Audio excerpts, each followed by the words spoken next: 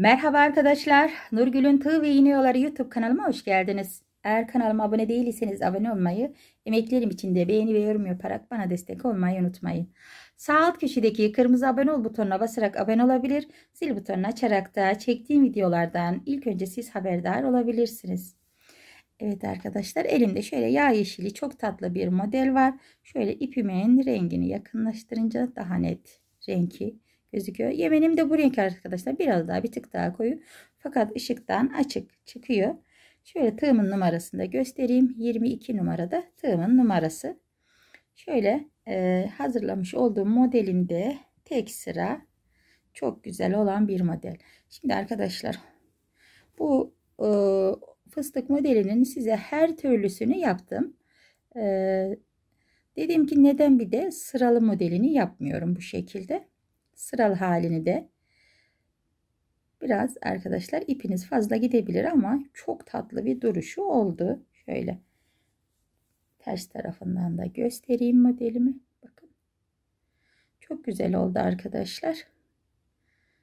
Yapılışı da bir o kadar kolay modelimizi. Hemen şimdi modelimin anlatım kısmına geçiyorum ve nasıl yapıldığını sizlere tarif etmeye başlıyorum. Evet arkadaşlar bu şekilde tığ battılarımızı hazırlıyoruz. Ve arka tarafı unutalım arkadaşlar. İlk başlar gibi şöyle tığ battığımızın içine sık iğne ile ipimi sabitliyorum. Bir tane zincir çektim. Şöyle orta boy büyüklükte bakın 3 tane tığ battıyı kaplayacak büyüklükte bir örümcek yapıyorum. Şöyle sık iğne ile buraya tek telinden girip bir örümcek yaptım. Tığımın başını iki defa doladım. Dördüncü tığ battıya bu şekilde bir, iki ve iki alarak trabzan yaptım. Beş zincir çekiyorum. İki defa tığımı doladım. Hemen yuvanın içine girip aynı tığ battının içine giriyorum. 2 2 ve 2. Bu şekilde bir yuva hazırladım. 5 zincir çekiyorum ve 5. Şöyle ters tarafına çevirdim.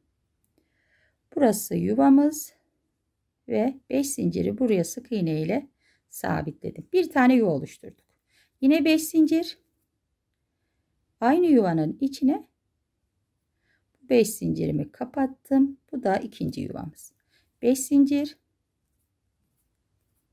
Bakın. Bunu da bu trabzanın tepe noktasına kapatıyorum. Bu 5 zincirli yuvayı Toplamda buraya 3 tane bu şekilde yuva hazırladık. Ters tarafından hazırlıyoruz yuvalarımızı. 3 zincirle de düz tarafına dönüyoruz. Şöyle çevirdim. Bir defa tığımı doladım. Bu hazırlamış olduğumuz yuvamızın içine ilmek toplayacağız. Bu 1. 2 3 Bakın ne fazla uzun ne kısa orta boy bir fıstık topluyoruz. Yuvanın içine girip içinden ilmek alıyorum. 4 5 6 7 ve 8 bakın. 8 tane bu şekilde ilmeği topladım ve şöyle ilmeği tüm ilmeklerin içinden geçirip sık iğne ile buraya sabitliyorum ve bir defa tığımı doladım. Kenara trabzan yapacağım. Bu önemli arkadaşlar. Fıstığıma destek için muhakkak böyle kenar kısmına bir tane trabzan yapın ve 6 tane zincir çekiyorum. 3 4, 5 ve 6. Şöyle ters tarafından bu 3 zincirli yerden giriyorum. Bakın 6 zincirimi buraya yuva hazırladım. Bir zincir çekip şöyle düz tarafına döndüm. Bakın. Fıstığın tepesine yaptığımız bu 6 zincire kirpik hazırlayacağız. Bu birinci sık iğnemiz ve 5 zincir. Sık iğne ile başlayıp sık iğne ile bitireceğiz kirpiklerimizi. Şöyle bir sık iğne 5 zincir. 3, 4 ve 5. Aynı yuvanın içine kapatıyorum. Yanına hemen bir sık iğne 5 zincir. 2, 3, 4, 5 zincir. Kapattım bu şekilde. Yanına bir sık iğne. Evet. Fıstığımızın tepesine bu şekilde arkadaşlar 3 kirpikten oluşan kirpikler hazırladık. Şimdi bir zincir çekiyorum. Diğerine geçiş yapacağım. Diğer yuvanın içine girdim. Bir tane ilmek çektim. Bir defa doluyorum. Şöyle 2 3 4 5 6 7 ve 8. İkinci yuvaya da bu şekilde bakın 8 tane ilmeği topladık. İkinci 5 zincirli yuvadan da ilmeğimi toplayıp böyle sık iğne ile kapattım. Bir defa tığımı dolayıp hemen aynı yuvaya şöyle köşesine bir tane trabzan. Trabzan önemli. Bakın fıstığımıza destek. 6 tane zincir çekiyorum. Çevirdim. Şöyle kapatıyorum bu şekilde. Bir zincir çektim. Döndüm düz tarafına. Yuvanın içine girdim. Bir sık iğne, 5 zincir.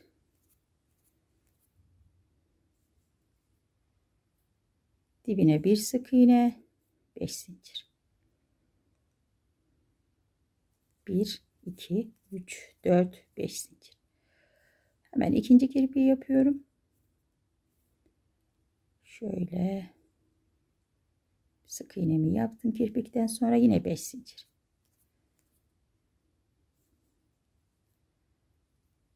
Dibine bir sık. Evet. İkinci fıstığımız ve kirpikleri yine hazır. Bir zincirle diğer fıstığımın yapılışına geçiyorum. Bir defa tığımı doladım. Sonuncu yuvamın içine girdim. Bakın şu boyutta öbürle, öbür fıstıklarla aynı boyutta olması için çekiyorum. Bir defa doladım. Şöyle 2 3 4 5 6 7 ve 8 hepsini birden buraya kapattım. Bu şekilde. Bir defa tığımı doluyorum. Şöyle 1 2 ve 2 5 tane zincir çekiyorum. Hemen ters tarafından bu bir zincir çekmiştik ya o araya girip bu şekilde kapatıyorum bakın şöyle. Bir zincirle tekrar düz tarafına döndüm. Sık iğne ile buraya sabitledim. Bir zincirimi 1 2 3 4 5 zincir. Kapattım. Bir tane kirpik oluşturdum hemen yanına bir sık iğne. Bir sık iğne bir kirpik 3 tane yapacağız. Buraya kapatıyorum. Yanına hemen bir sık iğne 5 zincir.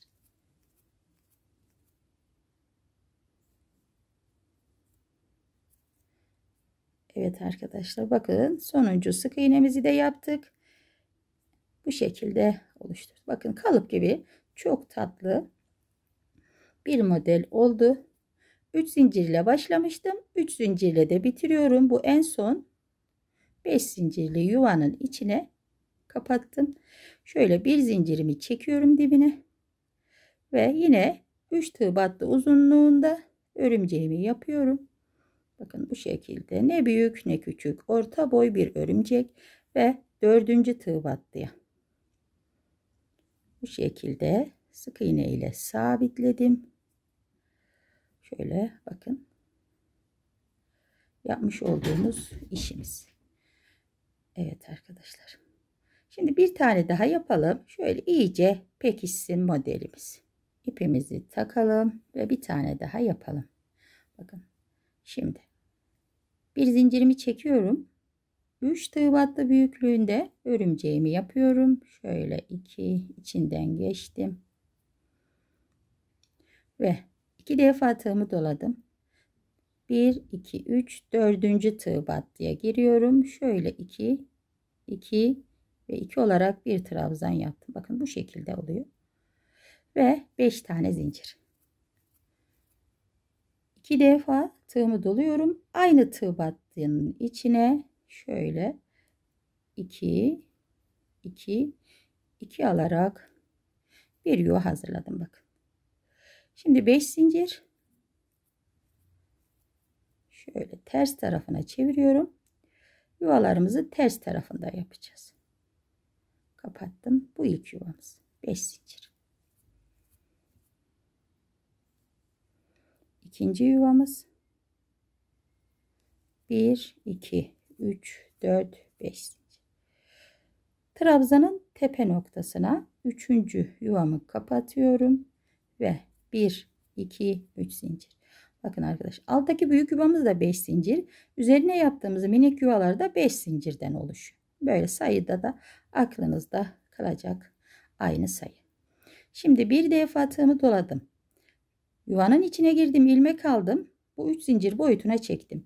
Bakın bu bir dolama ve bir tane de yuvadan ilmek alma. Bunu bir sayıyorum. 2. Doladım. ilmek aldım. 3. Doladım. ilmek aldım. 4 doladım, ilmek aldım 5. Doladım, ilmek aldım 6. 7 ve 8. Bu şekilde yani iki tanesini bir ilmek sayıyorum. Şimdi hepsini birden bakın sona kadar bu şekilde çekip üzerine bir tane sık iğne yapıyorum. Şöyle bir defa tığımı doladım. Bakın 1, 2 ve 2 bu fıstıktan e, e, sabit kalmasını sağlayan trabzan. 5 zincir pardon 6 zincir 4 5 6 çeviriyorum şöyle ters tarafını. Buradaki 3 zincirimi aralıyorum. Yuvamı buraya kapattım. Bir zincir. Şöyle düz tarafına döndüm.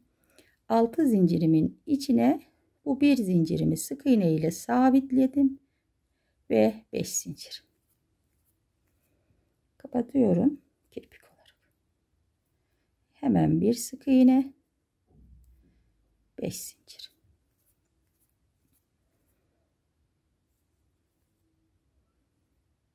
Bir sık iğne 5 zincir. Üçüncü kirpiğimi de oluşturdum. 6 zincirimin üzerine bir sık iğne bir kirpik olarak bu şekilde 3 tane kirpiği hazırladım. Şimdi ikinci fıstığım için şöyle araya bir tane zincir çekiyorum.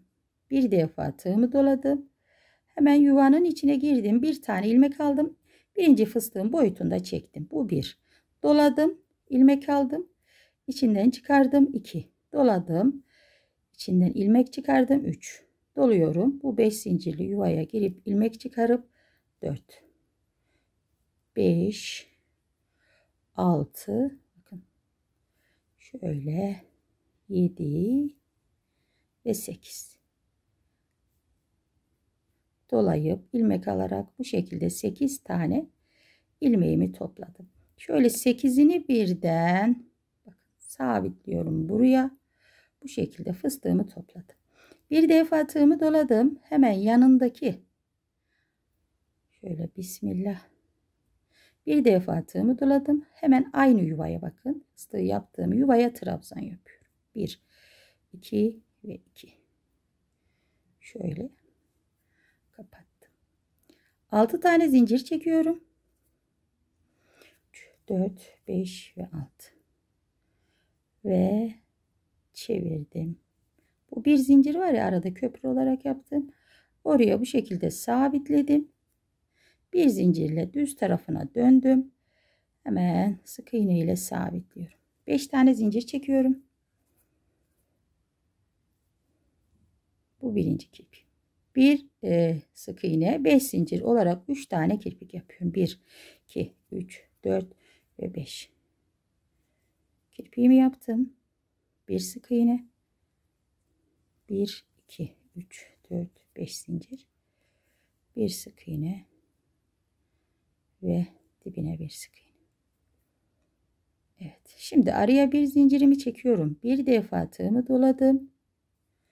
Yuvanın içine girdim. Bu şekilde ilmeğimi çektim. 1 2 3 4 5 6 7 ve 8 8 tane bu şekilde ilmeği yine topladım. 8'inin de içinden bu şekilde geçtim. Sık iğne ile buraya sabitledim. Yine bir defa dolayıp aynı yuvanın içine şöyle 1 2 ve 2 bakın. Bu şekilde trabzan yapıyorum. 6 tane zincir. Şöyle bir zincir çekerek geçiş yaptığım yere 6 zincirimi sabitliyorum. Şöyle bir zincirle tekrar düz tarafına. Yuvanın içine sık iğne ile sabitledim. 1, 2, 3, 4, 5 zincir. Kapatıyorum. Bu bir. Hemen yanına bir sık iğne. 5 zincir. Evet arkadaşlar bu şekilde sıralısını da yaptık bu fıstığı. 5 zincir çekiyorum. Kapatıyorum buraya bu şekilde. Sonuna da yine bir bakın aynı yuvanın içine sık iğne yapmayı unutmayın. Hem başına hem sonuna 3 zincirle aşağıya iniyoruz. Bakın 5 zincirli yuvanın içine iniyorum. Bu şekilde. Başlarken de 3 zincirle başlamıştım başında. Sonunda da bu şekilde 3 zincirle bitişini yaptım. Şimdi yine örümceğimizi yaparak bitirelim. Şöyle ipimi uzatıyorum. Ve tek kanadından şöyle girip örümceğimi tamamlayıp 1 2 3 ve 4. tığ battımın içine sabitliyorum. Şöyle 3 zinciri çekeyim sökülmesin. Evet modelimizi bu şekilde bitirmiş bulunmaktayız. Çok tatlı oldu arkadaşlar. Şu ikisini sizle yaptık. Diğerlerini de daha önce sizler için hazırlamıştım. Ve modelimiz bu şekilde bakın. Toplamda bayağı yapmışız. 2, 4, 6, 6 tane model. Şöyle hepsini bir arada göstereyim. Çok da güzel. Ee, şöyle kalıp gibi dolgun olduğu için fıstıklar biraz ip yiyor arkadaşlar.